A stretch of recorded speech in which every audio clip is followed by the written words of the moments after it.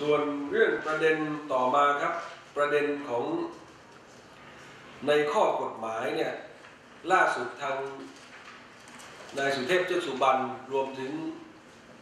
สมาชิกพักฝ่ายค้านบางพักนะครับ รวมถึงกลุ่ม 40 สวบางท่าน อย่างในายบูลนิติวันก็ยังมีการให้สัมภาษณ์รวมถึงฝ่ายตรงข้ามรัฐบาลก็ยังโพสต์ในสื่อออนไลน์ว่า สามารถเลื่อนการเลือกตั้งออกไปได้อีกนะครับ โดยไปอ้างรัฐธรรมนูญ โดยเฉพาะมาตรา 108 และมาตรา 187 ของรัฐธรรมนูญนะครับ ซึ่งลักษณะซึ่งผมได้ตรวจสอบกับฝ่ายกฎหมายพบว่าเมื่อมีการตราระราชกิจการยุบสภาตามมาตรา 108 เป็นกรณีเฉพาะ ซึ่งเป็นคนละกรณีกับมาตรา 187 ที่ฝ่ายตรงข้ามรัฐบาลเป็นคน อ้างถึงนะครับเป็นการตรากฎหมายพระราชกิการในการทั่วไป ดังนั้นเรื่องนี้เมื่อการเลือกตั้งเนี่ยไม่สามารถอิงเนื่องกันเกี่ยวกันได้ การพยายามตราพระราชกิการเพื่อเลื่อนมาเลือกตั้ง ในกรณีเกี่ยวกับการยุบสภา จึงไม่มีบทบัญญัติของรัฐธรรมนูญเนี่ยรองรับไว้ เพราะฉะนั้นเมื่อการตีความลักษณะที่กลุ่มนายสุเทพ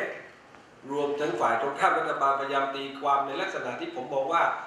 ใช้กฎหมายลักษณะเหมือนน่าจะเป็นสีถนนชัย คือตีความเข้าข้างตัวเอง โดยอ้างรัฐธรรมาตรา108และ100 108และ187ว่าสามารถเลื่อนการเลือกตั้งไปได้เนี่ยปรากฏว่าไม่มีบทบัญญัติแห่งรัฐธรรมนูญรองรับ อันที่สองนะเมื่อมีมาตรา108บัญญัติว่าการยุบสภาทำได้ครั้งเดียวในเหตุการณ์เดียว ดังนั้นเมื่อยุบสภาแล้วจะกำหนดวันเลือกตั้ง ซึ่งต้องเป็นไปตามวันนั้น โดยเฉพาะเมื่อมี การโปรดเกล้าพระราชกิจการยุบสภา และกำหนดการเลือกตั้งวันที่ 2 กุมภาพันธ์ปี 57 ก็ต้องดำเนินการตามมาตรา 108 นะครับ โดยเฉพาะการเลือกตั้งเนี่ยเขาบอกว่าไม่น้อยกว่า 45 วัน แต่ไม่เกิน 60 วัน ถือว่าเป็นระยะเวลาที่รัฐมนูญเห็นว่าเหมาะสม นี่คือมีบทบัญญัติในรัฐมนูญอย่างชัดเจนนะครับ และที่สำคัญเมื่อถ้ามีการอนุญาตให้มีการกราพระราชกฤษฎีการในการเลือกตั้ง คือเลื่อนออกไปอีก ถือเป็นการทำลายหลักความมั่นคง และแน่นอนของกฎหมายทำลายความเชื่อมั่นของบุคคลต่างๆ รวมถึงพรรคการเมืองว่าการเลือกตั้งในสองกุมภาเนี่ย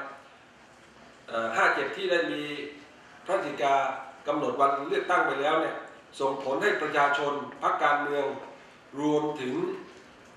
นานาชาติเนี่ยเขาขาดความเชื่อมั่นขาดความเชื่อถือต่อระบบหลักนิติรัฐนิติธรรม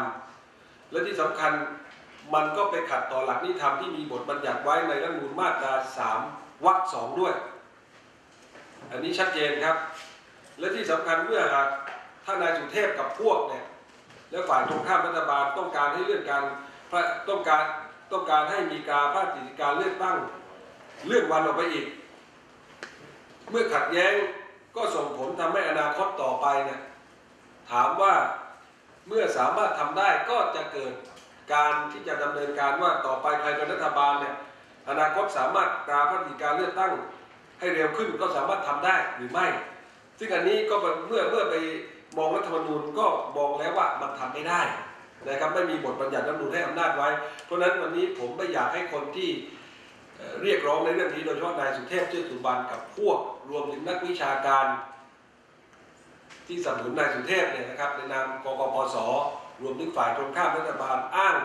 ในลักษณะข้างข้างๆคูแบบสีถนนชัยนะครับ อ้างกฎหมายก็ข้างตัวเอง โดยไม่ยึดบทบัญญัติของรัฐธรรมนูญที่เป็นกฎหมายสูงสุดนะครับ ในการที่จะกำหนดไว้ถึงเรื่องวันเลือกตั้ง ว่ามีตามรัฐธรรมนูญมาตรา 108 เพราะฉะนั้นวันนี้ผมไม่อยากให้ตะแบง และขอให้ทุกภาคส่วนนะครับโดยเฉพาะกลุ่มนายสุเทพเนี่ยหยุดเคลื่อนไหว หยุดปลุกระดมประชาชน รวมทั้งนักวิการเหล่านี้นะครับ อย่าขัดขวางการเลือกตั้ง ซึ่งมาตรการต่อไปนักวิชาการที่ขึ้นเวที ของกลุ่มกกปส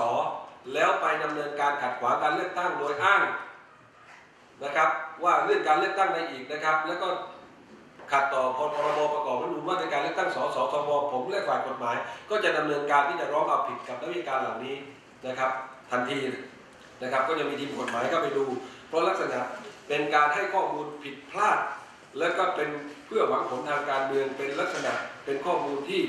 เป็นการยุยงปลุกปั่นประชาชนมากกว่าให้ข้อเท็จจริงทางวิชาการและข้อกฎหมายครับ